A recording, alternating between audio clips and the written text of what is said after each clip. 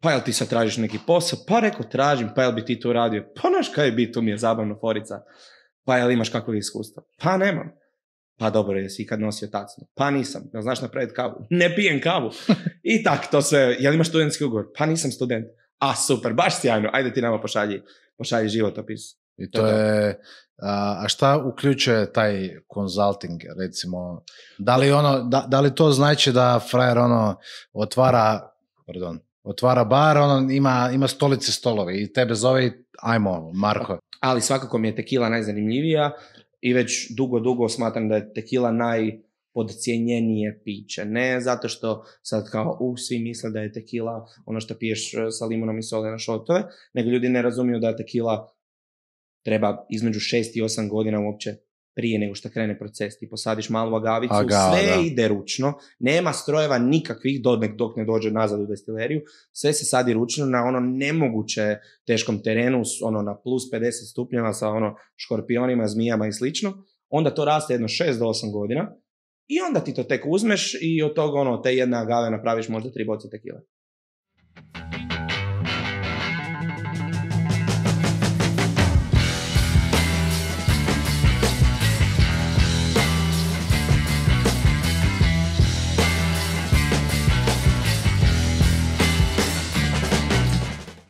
Pozdrav svima i dobrodošli još jedan Tipsi podcast, jedini podcast o vrhunskoj cugi, ugostiteljstvu, kuhanju i svemu vezanom uz to. Današnji gost je Marko Pečnik, čovjek koji je u ovom poslu već 5-6 godina i ovoga, koji, zahvaljujemo se što nam se odazvao, a preporučio ga je naš e, dobar prijatelj Filip Lipnik, tako Hvala, da Filipu puno Ja se hvala. nadam da sam zaslužio. A, zaslužio si ovo što smo te prosurfali, stari. Idealan si gost. Ovoga, već smo vino natočili, jer nam je reža rekla da moramo ponoviti uvod još jednom, jer čaše previše zveckaju, pa ćemo nazdraviti na staromodni način Potiho. iz korone. Nema dodirivanja.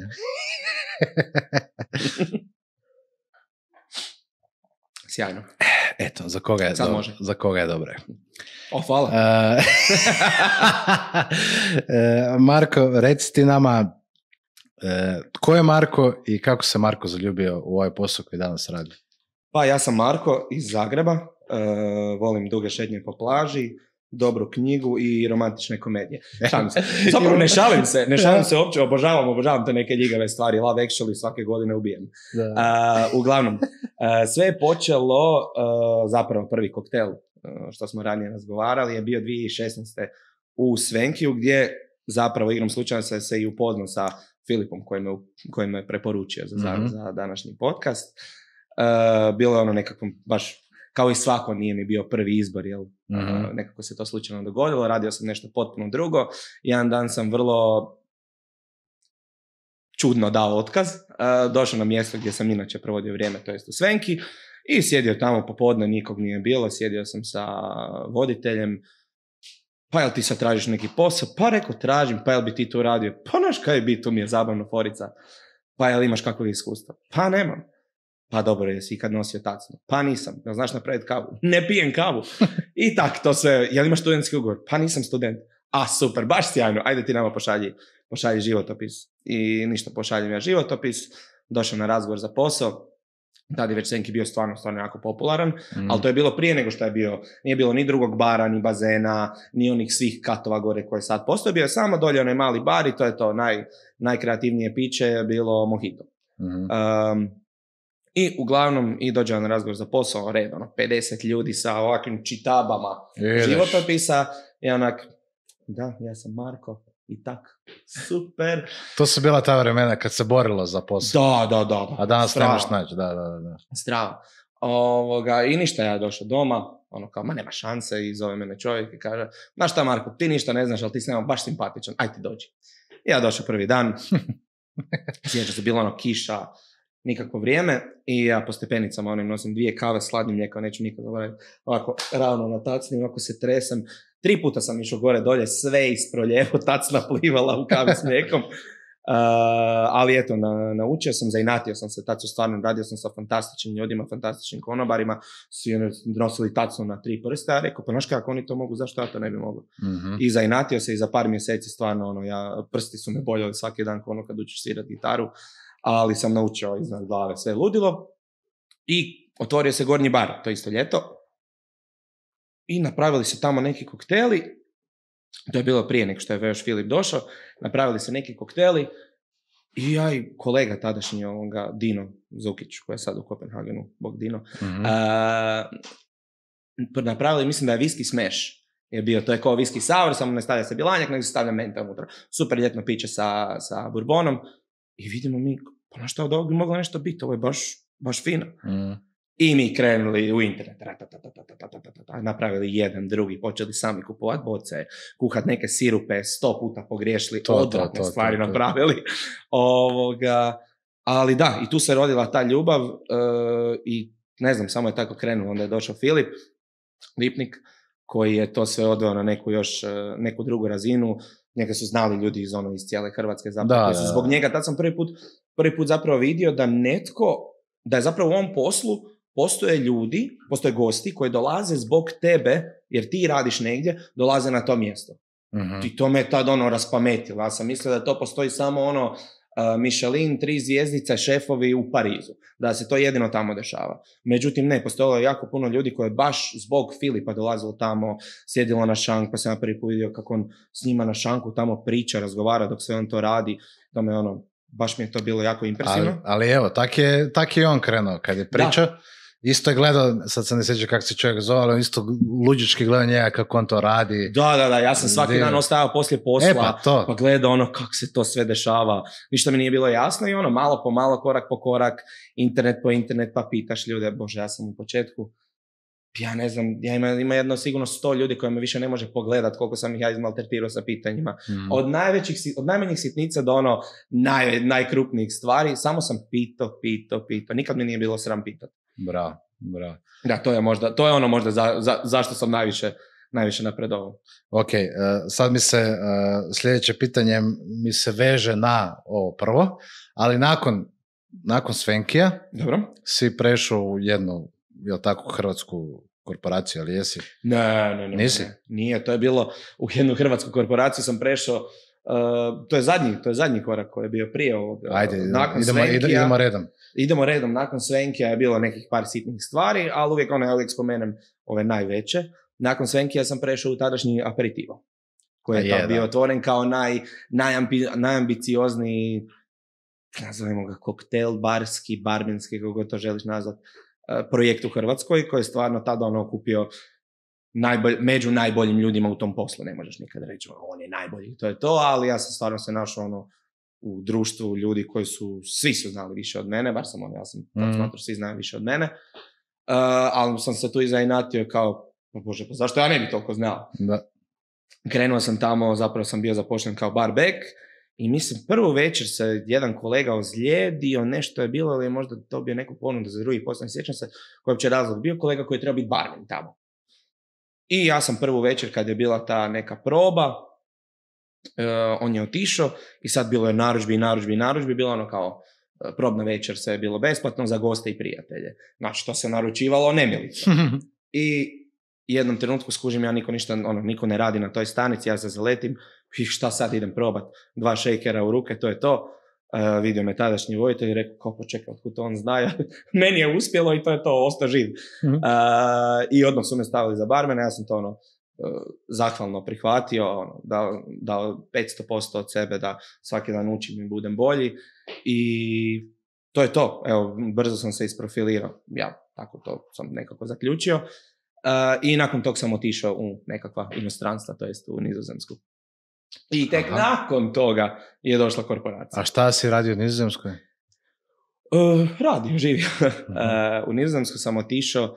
Meni je prvi plan bio London, jer je u to vrijeme ono, London bila meka, mislim kao što je i danas, uh, tog posla uopće, jel, ugostiteljstva kao takvog, ali najprogresivniji ljudi u tom svijetu su radili, i moji Mhm. tadašnji idoli su radili u Londonu, ne znam, tadašnji Artesian bar je pet godina za redom osvojio nagradu za najbolji bar na svijetu, itd., itd. Međutim, tad je bio Brexit i sve je bilo vrlo neizvjesno. I rekao, ono, neću to. Tadašnja cura je dobila, ovoga, je bila prihvaćena na fakultet u Amsterdamu. I ja rekao, to je to, idemo, rock and roll. Došli tamo, prvi dan nešto branč jedemo, ja skužim neki bar, ja sam vidio, vidio sam ono par boca, koje već iz iskustva znam da to mora biti dobar bar ako ima ove tu boce. Mhm. Sigurno i način na koji stoji back bar, čaše, kako je sve posloženo. I ja uđem unutra i pitao kao, e, jel tražite ljude, ovo ono, dao svoj životopis. Ok. I čovjek meni na licu mjesta kaže, ma može, može dođi u petak, imaju toliko posla da ono, kaj god, samo dođi. Imaš dve ruke i noge. Uh, I ja došao tamo, petak, kaos. Znači, to kako tamo izgleda, pa to, to je tu ono, najjača noć na Zrču. Uh, to je, tak je njima, tak je njima svaki vikend. Mislim, to je ono, zemlja koja je uh, 25% manje od naše, sa 400% više stanovnika, možeš misliti kaj, kaj je to. I svi imaju para. Bože. Koji grad? Uh, to je bilo u Utrechtu, Utrecht. uh, koji je zapravo i najveći nizozemski, to sam kasnije saznao, najveći nizozemski grad. Uh, jer je ono središte svih imaju ludilo. Uglavnom, i ja tamo nosio gajbe cijelu večer, leđa mi je otpala. I u jednom trenutku nekog nije bilo i opet ista priča. I ja ovo, tu točim jednom rukom neke tamo rum kole, drugom rukom ko ono, ko oni klubski ovoga Da. šankeri, otvaram na ramena kolu, tu nešto Miami 90. Bacam, da, da, da, da, da, Tom Cruise. Uh, I prolazi ovaj čovjek, prolazi čovjek koji, koji je vlasnik i kaže, uh, samo da znaš, uh, zaposlen si. I prođe dalje, rekao, ok. I tri mjeseca prošlo skoro, ja nosio i dalje gajbe, tamo ono radio pomoćne poslove. U jednom trenutku oni, neko se sjetio pogleda taj papir koji sam ja njima dao prvi dan. Skužem im, pa on ima iskustvo, zašto on ljudi, zašto on ne radi koktele? Sa strane, zapravo je naglasak tog bara, odnosno restorana, na koktelima Da. tri, kok- tri one stanice imaju, jel, baš za koktele, super, sve ono, takozvani craft kokteli, signature. Super. I ovoga, i kažem, pa dajte, stavite ga jedan dan da vidim. Ja došao, sve je bilo super, jer sam već stvarno tada imao iskustva. Da. I jako brzo je to krenulo, sam postao assistant bar manager, pa bar manager i to je bilo, to je bilo jako, jako lijepo iskustvo, puno sam tu naučio. Uh, puno sam naučio kako je to raditi u odličnom sistemu. Mhm. kad se vratiš u Hrvatsku i vidiš da kod nas ima ono možda 1% barova koji tako funkcioniraju, dok je gore to standard, to je normala da tako funkcionira, to je onda malo frustrirajuće. Tu Šta bilo, bi ono. onda rekao, koja je ono, glavna razlika između ajmo reći, tog sistema od nizozemskog kojeg si doživio i hrvatskog sistema? Uh, ja bih rekao posvećenost standardu. Uh, na način da tamo je uvijek od najmanjih zalogajnica do restorana, na primjer gdje sam ja bio, bilo je 140 zaposlenih sve ukupno. Kuhinja je bar 140 zaposlenih. Znači nema štednje na ljudima. Naravno, ali sve je imalo svoj standard operacije. Sve je bilo napisano, sve se znalo točno kako i zašto i kada se radi. Nije bilo ništa na mišićama, što smo malo prije bili pričali. To, to ne postoji. I ništa nije išlo samo da, ma daj napravi to, neka ide van. Kako kod nas to uvijek ovoga biva, ono, čim je malo gužva, ma napravi to samo neka ide van, nema veze, nisu naši, neće oni to skužiti. Da. Nema toga. Sve, s- postoji standard kvalitete koji se poštuje. I ono što je meni najviše značilo, mislim zbog čeg sam i napredovao je, kad oni vide da ti želiš, oni ti daju. Ako vide, ako oni skuže, gle, možda on to želi, on to ne zna, ok, odrezat ćemo to. Ali dok ti želiš i pokazuješ da možeš napredovat, oni će ti davat prilike, prilike da naprede. Nećete nigdje kočiti zato što njima je u interesu da ti budeš tu i budeš mali cijelo vrijeme i slušaš. Znači, je- rekao bi onda da je, ajmo reći, glavna razlika nekakav sistem rada posla i kako, mislim, ja bi zaključio da je sve onako nekak, onako kako treba biti sistematizirano, Tako je. ništa ne fali, zna se, gledaj, u sedam si tu, cijediš limun, cijediš limetu, Upravo mora biti tako. toliko toga. Upravo tako. A ne ovaj zaspo, došao je u osam, e jebi ga, nema više. Tako ja, nemamo mi vremena za ovo, Da, da, ko će da. cijedit limune, ne znam koliko sam. Upravo to. Napravio sam u zadnjih tri i pol godine u Hrvatskoj, sam napravio milijardu, ono, od manjih do većih nekih karti, od jednostavnih simple mikseva do ovog do onog. Pa, I uvijek ljudima bude, pro... znači postoji mjesto gdje je ljudima problem nacijedit limun. da. Zamisli koji je to, ja koji ka- je to, kažete da ih ima više kojima se ne da neko ovih koji to da zapravo rade. ma naravno. Ali to, evo, to, Dobro, to su sad neki problemi, ali ok, doćemo i do toga. mm. E, a di si sad? Di sad radiš? Sad trenutno ne radim nigdje, prije uh, tri, četiri, tri, četiri mjeseca, ne znam više točno, uh, sam dao otkaz u toj jednoj velikoj hrvatskoj firmi. Mislim, ne, mora- internacionalnoj firmi. ne moraš reći kako se zove firma, ali možeš reći kako se zove, di si predavao. A, e, na Raise the Baru sam Raise the predavao. bar, Ok. Tako je, e, evo ne više ne radim 3-4 mjeseca tamo i sad sam samo zaposlen za sebe, otvorio sam obrt i eto, bavim se, bavim se konzultingom. E, nekoliko, ima, postoji nekoliko hrvatskih e, barova kojima, evo, ajmo reći na neki način, pomažem upravo sa time, sa standardima, sa Mhm. edukacijama, sa kartama i tome slično. Zapravo, jednostavno, ja to doživljavam, samo im prenosim sve dobre stvari koje sam naučio kroz godine. Jasno, da. I To to je a šta uključuje taj consulting, recimo, da li, ono, da, da li to znači da frajer ono otvara, pardon, otvara bar, ono ima, ima stolice stolove i tebe zove i ajmo, Marko. To može značiti sve od doslovno toga da, e Marko, ja bi otvorio bar, ja ne znam kako, do toga Marko, ja imam bar koji radi već pet godina, ali vidimo da mi, mi želimo bolje i vidimo da može bolje, da postoje tamo neki barovi koji rade to puno bolje. Mhm, Daj ti nama pokaži kako. Jasno. Postoji dosta, dosta specifičnih upita, ne znam, postoje ljudi kojima uopće ni ne treba im nikakvi kokteli ni karte, nego im samo treba edukacija oko kako se baviti servisom, to jest nekakva sistematizacija servisa, ne kao, neću ja sad pričati o tom da sam ja neki fine dining ugostitelj da, da, da, da. koji ono razumije sve, sve principe toga, ne znam, neki ono Toni Arbonić iz Noela, ali ovoga, ono sistematizacija zašto ova tacna ide tu, zašto se kuca ovako, koji je smjer kretanja, kad se sta- šta stavlja, kakva je komunikacija, e, distribucija ljudi po stolovima itd. itd. Ono, od, Shit, je, od jako, jako banalnih stvari koje ljudi smatraju zdravo za gotovo, tipa ne znam, uđe ti grupa od četvero ljudi koji nemaju di svijest, a tamo imaš stol koji prima petero ljudi gdje sjedi jedna osoba. Znaš, to kod nas nekako se uzima, pusti čovjeka, on je platio svoju kavu, on tu ima pravo sjediti pet sati. Što je istina, međutim, ti si u ovom poslu da bi ti zaradio. Ista, ista ta osoba da sjedi negdje, ma bilo gdje vani, pa taman da je u Ljubljani, Mhm. a ne ono, da ne pričamo o Milanu, Parizu, New Yorku. Da joj dođe konobar, lijepo ju zamoli, ja se ispričavam, znate, imamo, ušlo nam je tu četvero ljudi, evo imate tamo onaj jako udoban stol, mi ćemo vam sve preseliti, ste možda još za jednu kavicu, bilo što, nikome to nije problem. Počastiš ga tome, ka- tom kavom, ako se on mora preseliti, ti si u tom trenutku sebi napravio ulazni trošak od ono dvije do dvije i pol kune i dobio četvero, petero ljudi koji može sjest za taj stol. Da, možda pojest. Upravo ono, tako. Vrlo, vrlo, vrlo jednostavne stvari kojima ljudi ne razmišljaju, a zapravo su strašno bitne i ti si u tom trenutku na mikro razini digao promet za 400%. Upravo to. A recimo, evo, mislim, nije, možda je savjet. Ja to e, sam rekao većini ugostitelja, e, recimo kava. Znači, svaka, svakodnevna jutarnja potreba običnog čovjeka. I sad, e, oni dobro prodaju kavu, ali ono, znaš, stag- stagniraju. Zašto ne napraviti upsell? Upsell bi bio, recimo, cijeđeni sok u pola cijene uz kavu. Znači, stari, nisi prodao više 1,5 eura. Prodao si 3 eura. Jel tako?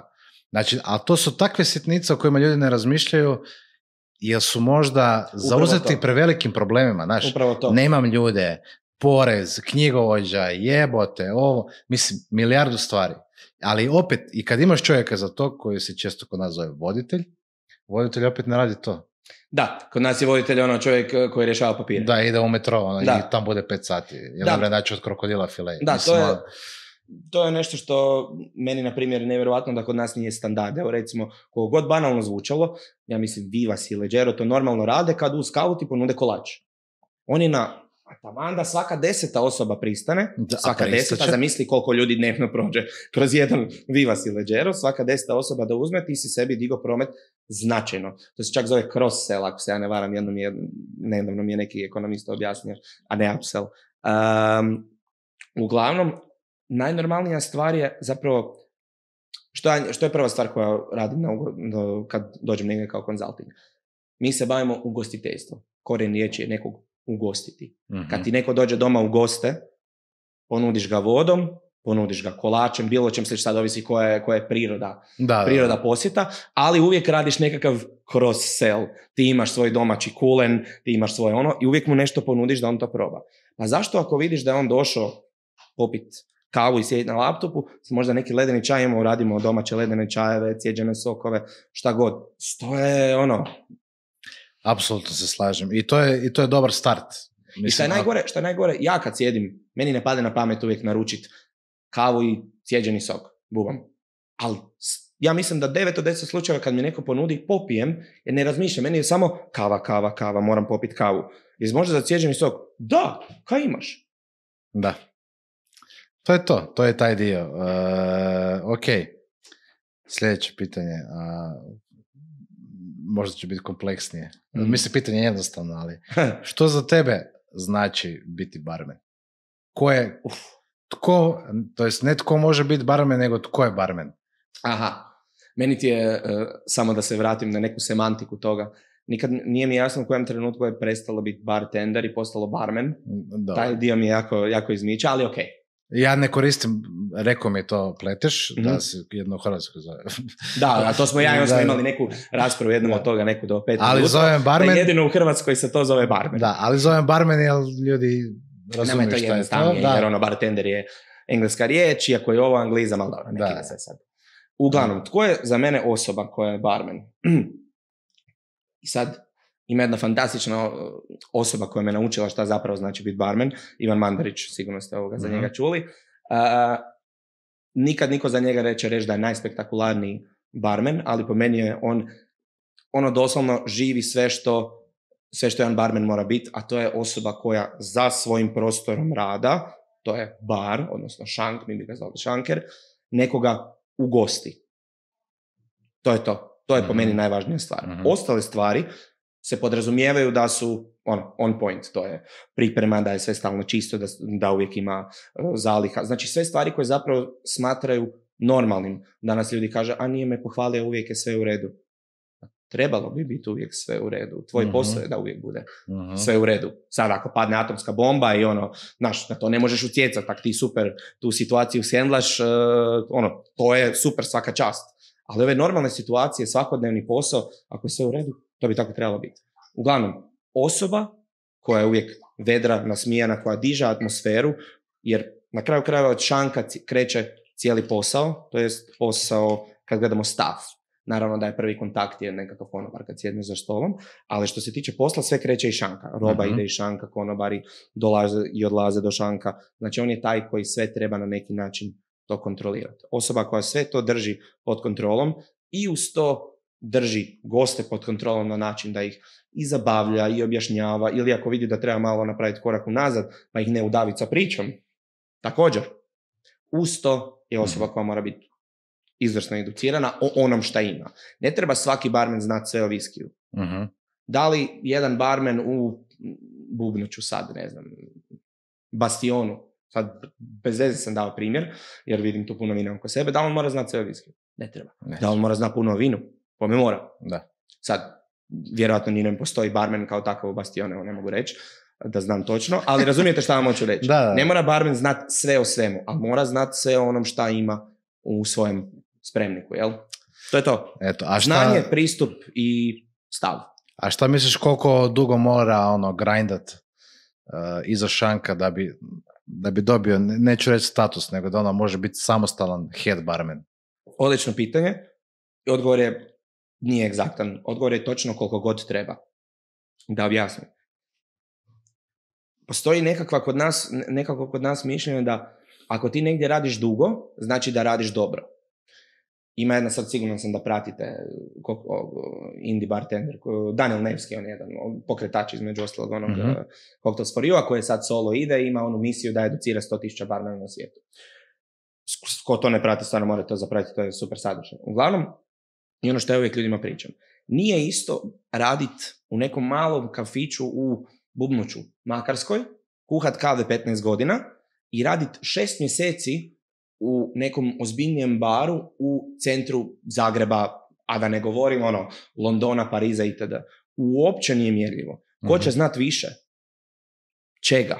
Sigurno osoba koja, koju bi ja prije zaposlio je ova osoba koja je radila šest mjeseci u nekom baru u Zagrebu. Zašto?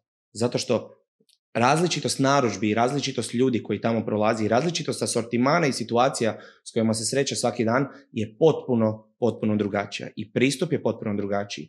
Čaša se nastavlja ovako na stol. Suđe se ne skuplja ovako Mhm. sa stola. karikiram, tako bi trebalo biti, to je, to je ideja koju ja živim i nadam se da svi, da svi ovoga pokušavaju tako raditi. Mhm. Ali šest mjeseci fantastičnog iskustva je puno bolje nego 15 godina lošeg S iskustva. noge na nogu. Tako da da odgovorim na tvoje pitanje, potrebno je koliko god treba, odnosno gdje god treba. Odlično. Ima ljudi koji za tri godine bi mogli negdje biti, nakon tri godine iskustva biti negdje head bartenderi, a ima ljudi koji nakon 20 godina još uvijek ne mogu Da. ni prići šanku. I ne samo to, nego ovaj koji je radio šest mjeseci je vjerojatno učio od puno boljih ljudi nego što je učio ovaj koji 15 godina kuha samo kave. Upravo tako poanta je i taj, taj mentorship koji kod nas, ajde sad se počeo opet vraćati, o kojem se ono u cijelom svijetu sad opet priča, jer svi najbolji ljudi u poslu su izašli iz šanka. Mhm. To je sad post, postaje malo i problem, jer mlađe generacije nemaju od koga učiti na licu mjesta. To, to postaje sad malo problem. Da, Ali, ali vraća se, ne znam, evo sad recimo Dominik je otvorio Pičez i on je stalno u Pičezu. Karikiram. Mhm. Filip, barmeni otvaraju barove, tako da ljudi koji rade u njima, na primjer, Filip u Blendu, ljudi koji rade u njima imaju priliku učiti od njih, koji Da, su da, otvorili taj bar, koji imaju x godina iskustva iza sebe, imaju im nešto za prenijeti, prenijeti stav. Na, najvažniji je stav. Da se vratim još jedan korak unazad. Na primjer, na Raise the baru i sada u Art of baru. Prva stvar koju sam ljude uvijek uvijek učio je i koja, koja mi je najglavnija, da, da ništa ne zapamte od cijelog tog iskustva, samo jednu stvar da zapamte, to je stav da se uvijek pitaš zašto nešto radiš onako kako radiš i da li to možeš napraviti bolje. Ako bocu vina otvaraš ovako, ako ti je neko to pokazao, zašto to tako i da li, da li je to najbolji način da se to radi. Ako Mhm. nije, koji je najbolji način, idem ja probat ili naći neko ko ima odgovor na to pitanje. Mhm. To je najvažnija stvar, taj stav. Uh, ima čak jedna fantastična knjiga na tu temu, nedavno sam otkrio, doslovno se zove Start with a question why. Samo što god radiš u životu, pitaj se zašto to tako radiš? Jel to radiš samo zato što ti je neko rekao? Jer to je problem koji se proteže kroz Hrvatsku, ne samo Hrvatsku, ali pogotovo kod nas, Mhm. budući da smo mi tek prije koliko, 7-8 godina saznali šta je gin tonic, na neki način, jel? Za šire mase, sad naravno da, da ne uvrijedim neko ko je znao šta je gin tonic prije 50 godina, Da. a ima ih, ali razumijete, ono, mi smo saznali šta je gin tonic kad je došao Hendrix, Krastavac i stavili smo to u kupe čašu i to je to. Sad su svi saznali šta je gin tonic i fantastično. Hvala Bogu na tome jer danas niko ne bi pio kraft koktele, uh, niko ne bi pio skupa vina i nas dvoje na kraju ne bi ovdje sjedili i pričali gluposti. Šalim se. Ali, ono, to je, to je poanta. Ok. E, imam još jedno e, zanimljivo pitanje. Znači, kreće sezona sad. Znači, Dobro. svi barovi na Jadranu i Istri su ono, uf, turbo Tako spremni. E sad, znači, pitao sam to i Filipa, malo sam drugačije formulirao pitanje, ali evo, ti si head bartender na Hvaru u nekom baru. Dobro. Rokate po večeri 800, 900, 1000 koktela. Na koji način se pripremaš za takvu večer? Beskompromisno. To je najvažnije. Da Šta nema- znači, kak, ajm, ako nas možeš provesti kroz taj proces, ajmo reći. Ok.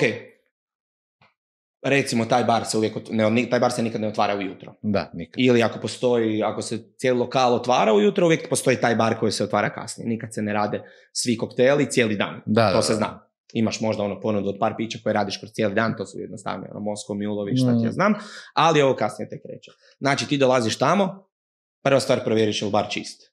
I onda ono slika, šalješ poruke jedne mrljice, da li je neko počistio ili nije u grupu se svima, ovoga, svima si cijelu obitelj spomenuo i slično. A, to. Onda izvadiš van boce, pogledaš čega ima sve, znaš da ne znam, ti je, znaš da ti ide najviše mojito, pa vidiš Bože da li imaš dovoljno bijelog ruma, ako ne, zoveš voditelja ili ako si ti voditelj sam sebe lupaš po glavi, zašto nisi naručio bijelog ruma?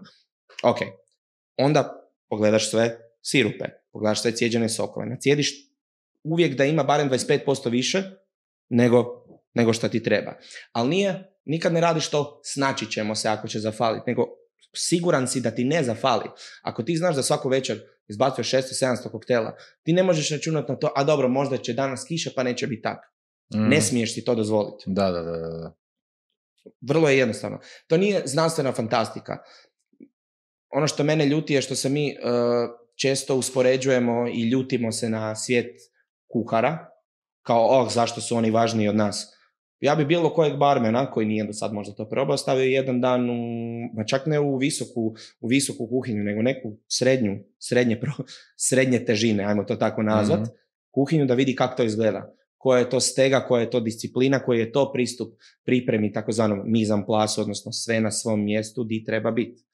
Znate da oni imaju one svoje, one svoje partije, svako ima točno zna di mu stoji, on žmirečki može raditi. Ne mora, ne mora ni gledati šta radi, točno zna da mu je tu gore desno peršin, tu mu je ulje od bosiljka, karikiram, i to je to. Svaki dan je sve isto, maksimalno pripremljeno da ono, da uđe horda ljudi, ne možete iznenaditi. Da. E, Nama tre- fali taj pristup. da. To- Da ti odgovorim na pitanje šta je potrebno, potreban je pristup kuhinje. Vrlo jednostavno. Da se Mhm. osiguraš da sve bude najbolje šta može biti u tom trenutku. Da se ne moraš pomaknuti ako treba. A kad bi ti onda trebao doći na posao kao head barman? U koliko sati? Evo, daj mi ti za primjer kad otvara, kad otvara taj bar. Evo, ja, ja, sad, ja sad razmišljam sa, uh, sa uh, ajmo reći, stava neko ko tebi recimo vozi robu. Mhm. I ja recimo zaprimam narudžbe do 12.1. Dobro, Ti otvaraš bar u 5. dobro. Znači ti bi realno trebao biti pa da ga fučkaš 90 ujutro tamo. Ma ne. Ne, ne, ne. Znači, Onda se moraš prije osigurati ili sinkronizirati sa svojim voditeljem naravno. da naručiš dovoljno robe. Ja pazi, ima tu i voća, ima tu svega, znaš.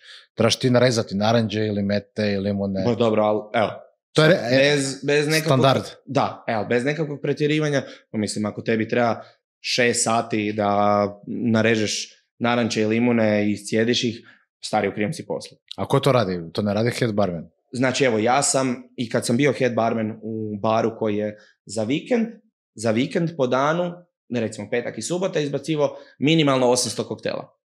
To je bilo pripreme, to, to ono, ne, ne možete zamisliti koliko pripreme. Ja sam svu pripremu za to, ja sam uvijek radio od 10 do 10, petak i subotu, od 10 do 10. Ali naravno ostaneš, u 10 je špica, pa ostaneš ti do ponoći jedan. Ja sam svu pripremu odradio od 10 do 1, najkasnije. Svu pripremu. Onda sam ono, ušao normalno u posao, radio la, la, ide ručak, on, servis normalno. Tako da kad na večer, kad krene gužva, Mhm.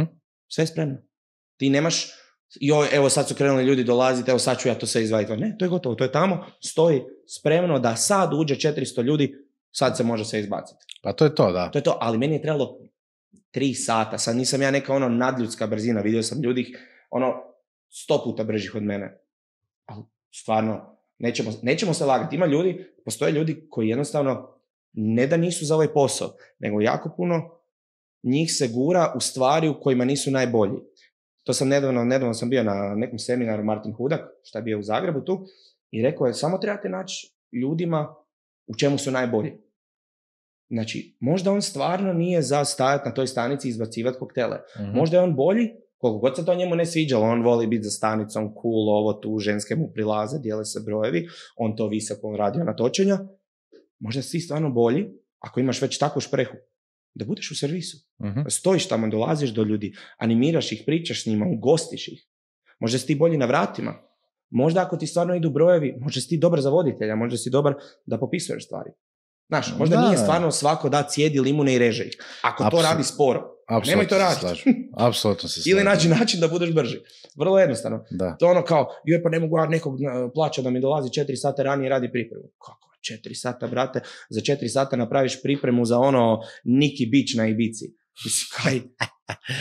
da, da, da, da, da. Ok. To je suludo. ok. Pogotovo današnjim tehnologijama, svime u razne sokovnike, čuda silna, ono stvarno ti ne treba toliko vremena da napraviš pripremu. Ako Realno, se da. znaš organizirati. Da. A treba ti realno mjesec dana na istom radnom mjestu da skužiš kako šta funkcionira, da se možeš organizirati.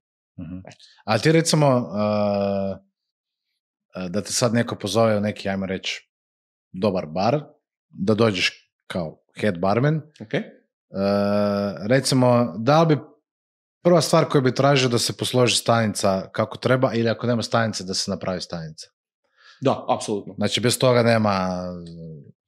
Sad, head bartender možeš biti u baru bez koktela. Ok, ali, Ali- govorimo Ali ti, ti sad... govoriš o koktelima. Da, da, da. Apsolutno. Bez stanice, mislim, to je to je ko da ideš, ono, uh, mesarica tupim nožem. To je ono, takva patnja. Ja kad vidim ljude da se one, onim hvataljkicama vade, vade kockice leda, ono, još, još onog lošeg leda, onog, onog sa rupom što prst možeš Da. unutra i stavljaju, to je, to je samo ubojstvo. To, to je em loše za gosta, zato što čeka piće 100 godina, piće će mu vjerojatno doći razvodnjeno sa lošim ledom, tu postoji sto stvari koje vežu jedno na drugo. Mislim, Užas, da. Da, e, mislim, samo sam htio s ovim, e, ajmo reći, e, pitanjem potaknuti ljude da se pobrinu malo više o tim detaljima, jer ima, to, ima previše toga lošeg, ma da, a može biti toliko dobro uz neke male, ono, male, male klikove koje mogu donesti... To nije puno. To, ti isti ljudi, ja mislim da je to, to Fića stalno isto priča. Je, pa rekao je to zapravo.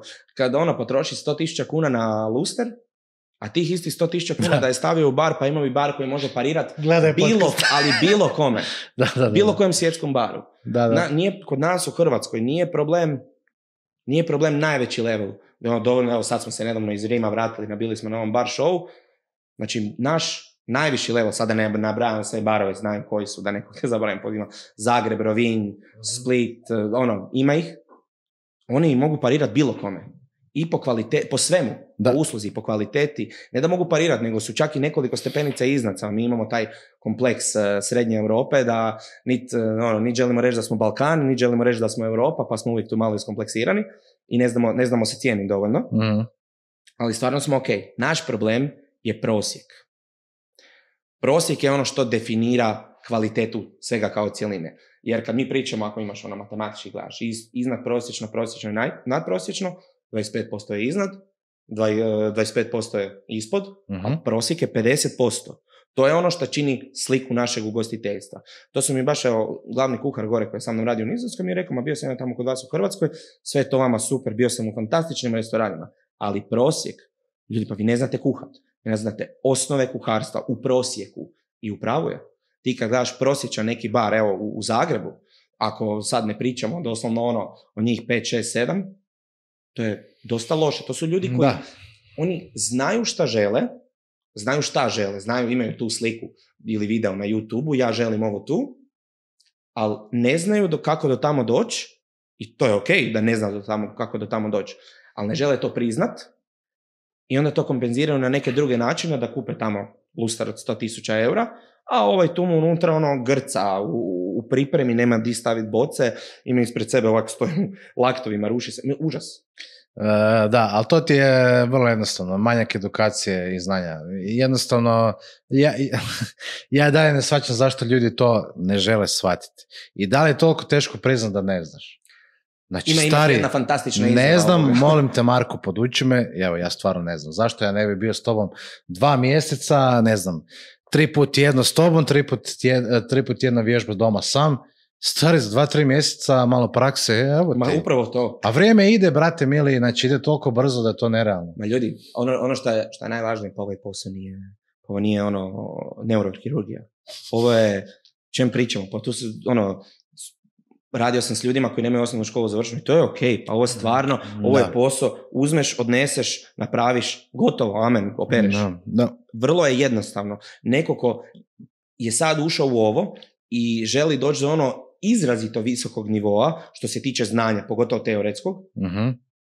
pa to može napraviti za šest mjeseci. E sad, ono što je, što kažu i za vozače, kad si ti dobar vozač, kad upadneš u dovoljno situacija koje su ono malo triki situacije, pa se iz njih naučiš izvući, onda si dobar vozač. I to je Mm. istina. To je Mm. iskustvo koje ono, jednostavno na radnom mjestu dogoditi se, ne znam, da se porežeš i kolega te nauči malo super ljepila, zamotaš to i doviđenja. Znaš, Da, to su te neke, to su finese, ali ovo ostalo, dignut visoko bocu, naučiti, pa evo nedavno, sad, sad smo bili na Art of Baru, to su ljudi koji su se tresli, držali su bocu, ko da drže, ne znam, ono, dreku u ruci, ni, baš ono, užas, za dva tjedna, pa to je bilo ono, kako god hoćeš. Stvarno nije ultra težak posao, samo što problem je u tome što ljudi ga dožive kao, ma ovo je lagano, pa se ne moram niti malo potruditi, ide samo po inerciji, tako i tako nema ljudi, pa će me platiti, pa baš me briga.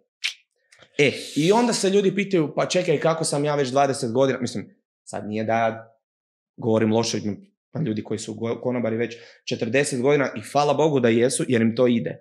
Ali ima ljudi koji su isfrustrirani jer već 10 godina su na istom mjestu i vide Da. tamo jednog uh, pleteša, Sašu, pečnika, šta je najgore, i misle si, ah, pa kako je on do tamo došao? A samo taj stav, idem naučiti što više mogu i to je to. Jednom će ti se to, sve se negdje naplati, ali stvarno. Mhm. Jednom će se to sve negdje vidjeti. Neko će doći, ne postoji sreća.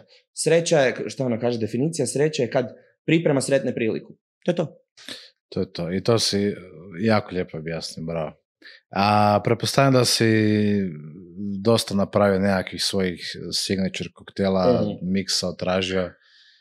Pa reci nam, kako zapravo napraviti savršen koktel? Znači ja ga sad želim kreirati, imam neko predznanje to, ali šta bi mi ti savjetovao kako da ja to napravim onako kako treba? Kad kažeš kako da napravim savršen koktel, ja sam dobio mali, mali moždani. Ovoga, jer šta znači, šta znači, šta znači savršen koktel? Uh, kak ja tom pristupam je prvo, ok, za šta, za koju priliku radim taj koktel? Da li radim taj koktel za wine bar koji ima male tapase? Da li radim taj koktel za pairing u Michelin star restoranu? Da li radim taj koktel za neki dive bar gdje ode 800 koktela u večeri? Da, to je prva poanta je šta, za koga ga radiš? To je to. Ajmo reći da radiš u baru koji je koktel bar, Dobro?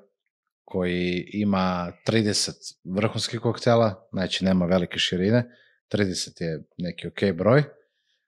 I od tebe se zahtijeva da napraviš jedan, ono, ajmo reći, turbo dobar signature koktel. Ok. Prvi, prvi korak je, ok, koliko imam koktela na karti, fantastično. Šta mi fali? Uvijek moraš pokrit neke, neke baze. Moraš pokrit da imaš jedan koktel koji je stila od fashion, jer to su ljudi koji vole malo jača, kompleksnija pića koje duže piju. Mhm. Pa moraš imati nekoliko visokih highball saura, uh, produženih sa nekakvim, ne znam, gaziranim sokovima i slično. Onda moraš imati nešto što je u kupe, čaši, lijepo, pjenasto. Ono, ima, ima tih par pravila, koktela koje moraš zadovoljiti. Mhm. Sad, onda gledaš koliko tebi vremena treba za pripremu. Ovo su sad sve nekakve, ono, vrlo, ono, nulti koraci kojima... Ali to je jako nije, bitno, Nije da. tako jednostavno. Ono što ja uvijek ljudima kažem, nemoj raditi koktel samo zato da bi napravio koktel. Znaj zašto radiš baš ovo što sad radiš. Mhm. Ako si ti odlučio staviti mrkvu u piće, zašto si odlučio staviti tu mrkvu? Je li je mrkva u sezoni? Da li je, želim naranđastu boju? Fantastično, ali reci onda kome god trebaš reći. Nećeš ljudima reći, ja sam samo htio naranđasto piće, ali da ti bar znaš da si stavio mrkvu unutra samo zato što želiš naranđastu boju. Ako je odgovor, pa niko još nije napravio koktel s mrkvom, i to je fantastičan odgovor, ali bitno je da ti znaš zašto si to stavio unutra. E sad, nakon toga, kako ga napraviti? Najjednostavnija stvar na svijetu. Samo trebaš poznati par osnova. Uzmeš bilo koji klasik, jer svi, sva najbolja pića su već izmišljena i zovu se klasici.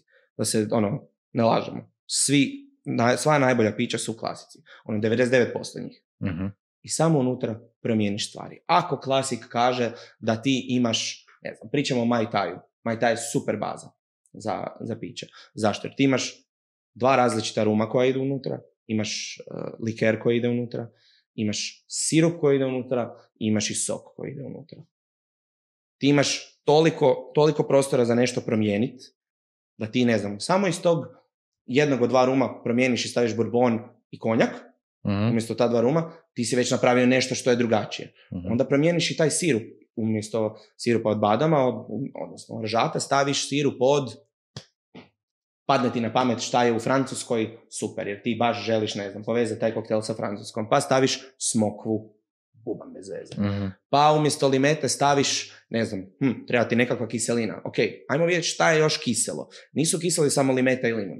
Šta je još kiselo? Pa vino je kiselo, je Mhm. tako? Mhm. ocet je kiseo. Samo trebaš razmišljati outside the box da, ono, šta je još kiselo, šta je još slatko, šta je još alkohol, šta je još... Moraš poznavati ovo s čim radiš. Tako je, i ne, sma, ne svačati stvari doslovno. Znači, ako, ako ti trebaš staviti sirup, sirup nije nužno samo, uh, ne znam, sirup koji ti kupiš. Ananas, sok od ananasa je strašno sladak. Da. Karikiram. Ne možeš u ananas staviti jednaki omjer soka od ananasa i šećera i očekivati da, će, da ćeš dobiti isti rezultat kod da, pomije, ko da si stavio simple sirup. Jer je ovo potpuno neutralno, nema ničeg i unutra si stavio jednaku količinu šećera. Ne može to biti isto kod da si u, u sok od ananasa stavio jednaku količinu. To je problem. Ali to su takve ono osnove, to su ono baš naj, najgore osnove. Mhm. To je ono, ko kad si, opet ću povezati to sa kuharstvom. Ko da si kuhar, ko da si kuhar i ne znam, i ne znaš koji komad je lungić. Da je to svinjetina i da je to zapravo ono biftek od, uh, od svinje. To je to. Ono, osnove osnova moraš poznavati da bi napravio stvarno dobro piće.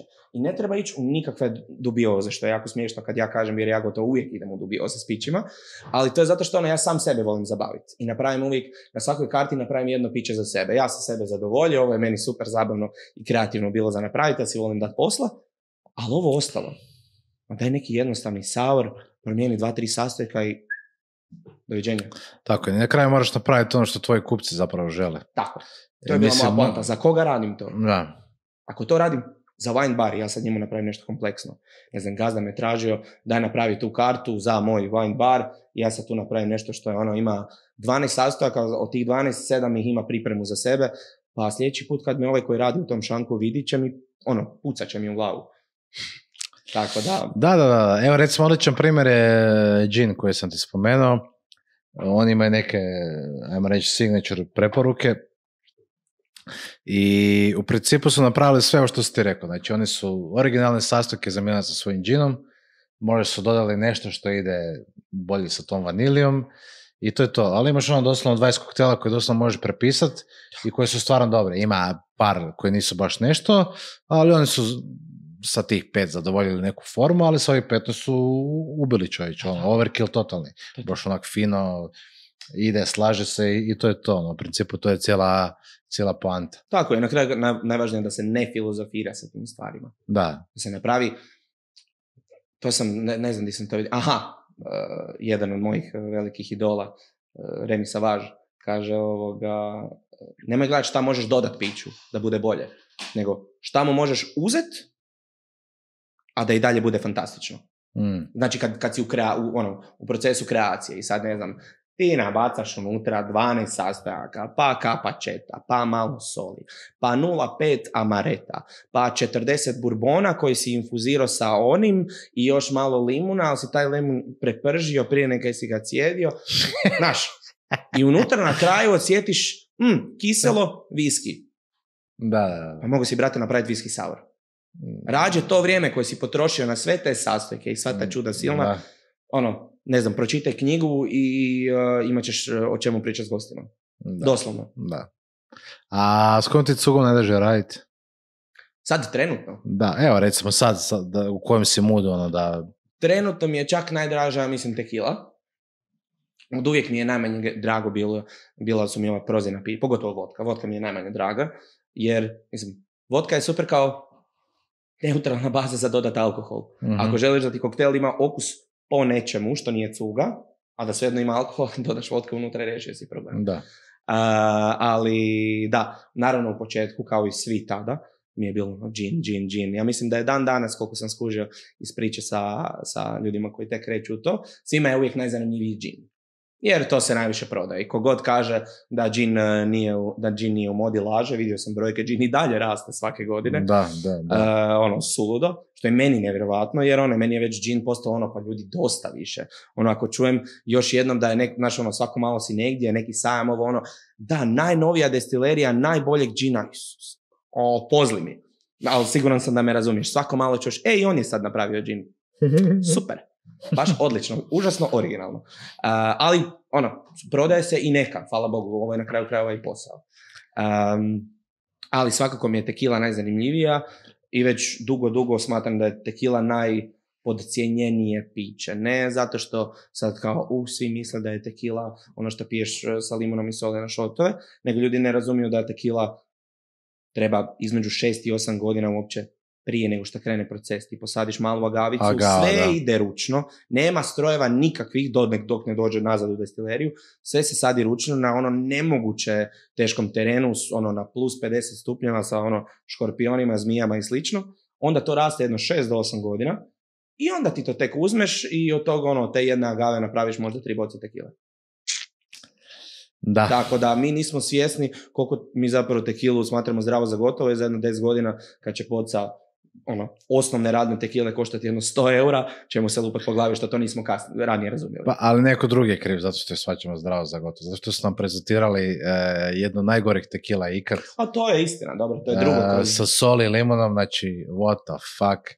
Ljudi da probaju pravu tekilu, evo, mi smo uvezli Fortalecu, Svaka čast. Znači, to je, to je strava, evo, Grabarić kad je bio pol sata je pričao o njoj, mislim tekila je perverzija, strašno, fenomenalno piće, I ko, mislim i kompleksnost, to, to mi je ono... ma da, Kad misliš, kad misliš da, da si probao sve i da ajde sad je već postaje slično, probaš neku novu koja te ono izuje iz cipela, jer tamo neko je otkrio, ne znam, na nekoj zemlji koje posjeduje, kojemu je ostavio njegov pra pradjed Pančo Vilja, eh, je otkrio da ima agave koju niko nije ubrao 24 godine i ono tog napravi na, ne znam, na 1100 metara ravnorske visine, ono tog napravi tekilu i to je ono kao, šta?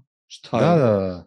Ne, ali užasno su onako kremasti, svak, onak mijenjaju se dosta, ne, ne bi rekao da su ko vino, ima tu ipak nekog malo većeg, ne većeg standarda, nego zna se šta možeš očekivati ako je prava agava, Tako je. plava agava, i ako je 100% to napravljeno plave agave, ali ono, čak se i mijenja nekad, i u toj čaši se promijeni. Naravno, pa sad tu ima isto sve, ljudi zaboravljaju da mi razlikujemo takozvani Highland i Lowland tequila opet nije isto na kojoj nadmorskoj visini je rasla. Tu postoji jako, je, puno, jako puno faktora, da li je kultivirana, da li je divlja, e, ne znam, ima, ima tih plantaža, tih mini obskurnih uzgajivača tekile, to je proizvođača tekile koje ono, jedna agava raste tu i sljedeća je tamo za 400 metara. Ono, Mhm. potpuno divlje koji rade, ne znam, serije od ono 120 boca godišnje. Da, I to nije sad neka ono ekskluzivna, sad će on to prodat za milijardu eura. Ne, to košta ono, ala Alpari Fortaleza, mhm, samo do tog treba doći. da. A reci mi, imaš neke ono najomiljenije barove diljem svijeta i bar, bartendere? O, pa to, pa, naravno imam.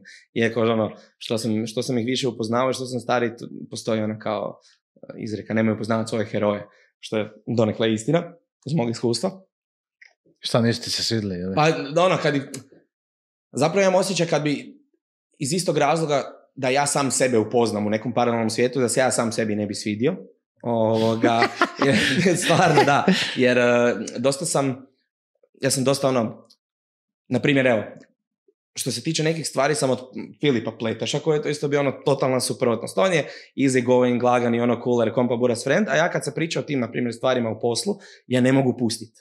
Ja moram ono to zašto, zašto, zašto, ono mora ispilim čovjeka, ubijem Boga u njemu Mhm. ovoga, dok on to sve kroz ono šalu i smijeh provede, ja ono, kad pričamo o poslu, to je to on, game face on, i sad pričamo točno u detalje kako, što, zašto, jer kao, ako ćemo pričati o tome, pa ajmo onda pričati o tome, nemoj se zajebavati. Ono, I zato ja mislim da kad bi sebe ovak ležerno upoznao negdje, da bi se mrzio, mrzio. Iz istog razloga neke, neke od ljudi ovoga koje sam upoznao, ali do duše kad sam znao puno, puno, puno manje da bi s njima ušao u bilo kakvu raspravu oko toga, Aha. su mi bili kao ono, mama on je meni ružno rekao. A Ali ko, koji bi bili to ljudi? E, neću, neću sad imenovati, ali sigurno e, jedna od ono internacionalna osoba koja je najviše na mene utjecala kroz interneta i kasnije kad smo se upoznali ovoga, kao nekakav heroja Remi Savage, e, francuz, ne znam, ne znam ako nisi vidio, on je, mislim, prošle, pretprošle godine, a svake godine on bude jedan od najutjecajnijih osoba uopće u ovom poslu. Pogledat ću. Da, da, Remi, zapravo nije Savage, nego se to čita Savage, jer mu je irsko to prezime, to mi je kasnije pričao da mu svi krivo izgovaraju prezime. Uh, Daniel Nevski, sigurno, Daniel Nevski, uh, svakako, to su od nekakvih internacionalaca. Uh, ovdje u Hrvatskoj, pa zapravo prva osoba koja mi je, s kojom sam ono radio baš tvrdo na nečem, koja mi je ono došla i pokazala, gle Marko, ovo ti je knjiga, ovo ti je tu, ti to piše, zato radimo to ovako, je Dominik Bečvardi koji je otvorio, uh, koji je otvorio piće nedavno. Ovoga, svakako preporuka isto za ovoga, ovdje ga ugostiti. ljudi koji su mi ono strašno pomagali i koji su mi uvijek bili tu za odgovoriti nekako pitanje su Filip Leteš, a, Filip Lipnik, Marijan Maksan, a, na kraju krajeva Kruno Rozić, a, s kojim sam radio i u aperitivu i kasnije u toj jel, jednoj firmi, ne znam jel smijemo spominjati ili ne, a, kojem isto uveliko, pogotovo tog nekog stava pomogao, Ivan Mandarić, Uh, stvarno ono, sad mi je bedak, sam nekog zaboravio, to su ljudi s kojima, s kojima sam baš ono neposredno puno radio. ali i jako puno sam na- naučio od ljudi koji s kojima sam bio ono al pari, recimo Dino Zukić, s kojim sam krenuo u sve to, ono prvi ono koktel smo zajedno napravili, nekako smo ono zajedno, zajedno prolazili kroz sve te informacije, pa ja njemu nešto otkrijem, pa on meni nešto otkrije. To je To to, su, da. to, su mi, uh, to su mi bili ti najdrži momenti recimo i u aperitivu. Uh, I bilo je tu jako puno sjajnih dečki s kojima sam radio, da sad sve ne spominjem. Ono, jedan drugog smo gurali. To mi je bilo od svih stvari, od svih stvari zapravo koje sam ono prolazio, ispitivao, velim, ono, ja sam bio jedan od onih idiota koji je na nekom seminaru, ne sjećam se koji je bio, bila je neka ono velika faca, ono, jedan od najvećih u svijetu, sad lago mi da li je bio Simone Caporale, neko di sam digao ruku i pitao ga, ne, Simone Caporale kad je imao, a, imao je seminar tu, Marijan Maksan ga je bio doveo na Zagreb Cocktail Story 2018. Imao je seminar u Kaptolu, mislim da je bio. I on je poslije toga bio u Svenkiju i mi nešto cugamo, zajebavamo se. I ja sam njega mrtav hladan pitao za svoju filozofiju oko izrade simple sirupa. Ja sam bio taj bolesnik. Jer je mene zanimalo, ja sam sad tad počeo već ono ulaziti malo u neke ozbiljnije knjige, neka kemija, ovo ono. I mene je zanimalo da li on ima svoju, i na kraju je ispalo da stvarno ima i da imamo vrlo slično razmišljanje oko toga. Ne znam, svi rade simple sirup 1 naprema 1 ili 2 naprema 1. Ja sam ga radio 1,6 naprema 1 Nisam si ono, sam najveći kreta na svijetu, ali kao idem me provjeriti. Na kraju je ispalo, bila je neka slična njegova brojka i filozofija, jer je on mjer- mjerio taj brik s količinom šećera. Ali ja sam taj debil koji je stvarno pitao sve što mi je padalo na pamet, ja sam ljudima pisao ovakve poruke na Instagramu, ljude koje uopće ne poznam. Neki mi nikad nisu odgovorili, neki su mi odgovorili ultra detaljno sa ono jako puno, jako puno entuzijazma. Dan danas ono ih eh, pamtim, cijenim, volim kad god dođem negdje u grad, a nikad ih nisam upoznao. Kad dođem u grad di su oni, prvo, prvo odem tamo. Prvo odem tamo, ispoštovati ih, pokažem poruku, ajme, hvala ti puno, prije pet godina eh, si mi pomogao. E, evo, znači to je Marko put, ali samo evo da se vratimo na početak. Čovjek je e, prije pet godina našao posao, od njih 50 on je upao e, i sad je došao do toga di je. A šta Nije, si sve prije prošao? sedam godina je to bilo, Prije sedam, ok. Ok, nebitno. Isto. Da. E, tako da, jako mi je teško, mislim da ne dopire do ljudi ta edukacija i ta znatiželja za znanjem. Da. Ako me razumiješ što hoću reći. Ne, Ja- ne, apsolutno. meni bez je to toga, ono- znači ti si izgubljen. Kojiš, tebi sad neko kaže, ako nemaš neko preznanje ili bar nisi pročitao, jebemo, živo danas, u današnje doba pogotovo. Imaš knjigu, možeš, evo sad već možeš kupiti u ovom, kako kažem, algoritam, ono, kod hotela Dubrovnik, kako se to sad zove, znanje ili nešto. Pojma. Imaš dolje knjiga, ja mislim da 40 o barmenstvu i barmenima Pa i da. šta god hoćeš. Bilo koja od njih je dobra. Da, Bilo koja. bilo koje, da. No, možete, evo, kogod želi, ja ću mu posuditi knjigu, ima ih jedno 900. Ali ta- na taj način sam ono između ostalog i učio. da. Nakon jedno desete knjige, pa jedno 70% informacija o svakoj knjigi, knjizi bude isto. Pa, Ali ovih, ma kakvi 70? 90%. Ali ovih 10% što pročitaš, koje su ono osobna iskustva i slično, ti znači ono razliku između dobar i odličan. eto. I to su one informacije koje, na primjer, ja negdje ono bubnem pa mene ljudi gledaju, ajme, kak si ti pametan. Stvarno nisam pametan, sam si dao, za, ono, dao sam si truda da u- naučim od ljudi koji su puno pametniji od mene. Da, ali to je nekima teško priznat. Da neko pameti njih. E, Marko, hvala ti puno. Mislim da smo, mislim da smo dovoljno rekli, ne znam šta ti misliš, ali... Ja mislim da sam ja i previše rekao, Da. to i uvijek. Obra- obradili smo ovu temu baš ono fino detaljno i drago mi je da smo to iz tvog iskustva izvukli šta zapravo znači raditi neke stvari i kako se to zapravo radi. E, I to je to, evo, hvala ti stvarno što si se odazvao, Nema nadam na se da ti je vino dobro. zvali. I hvala režiji, naravno. Da. Tako da, eto, to je to. Hvala svima što gledate, pratite, subscribe se, šerajte i samo da znate, preko 90% vas koji gledate nisu subscriberi. Tako da molim vas. ne znam, Jedan. mašem. Jedan, Tu. samo ti maši. Ma, mašem Re, režija ćete staviti na, na mahanje. Hvala puno i živjeli. Marko, Živjeli. hvala još jednom. Živi.